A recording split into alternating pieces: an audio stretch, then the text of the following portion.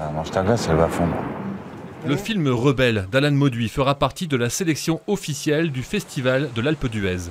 Ce long métrage avec à l'affiche Cécile de France, Audrey Lamy, Yolande Moreau et Simon Abkarian a été tourné dans des ateliers de Capécure et dans le Boulonnais en avril dernier. Le festival a lieu mi-janvier, et le film lui sortira en salle en mars prochain.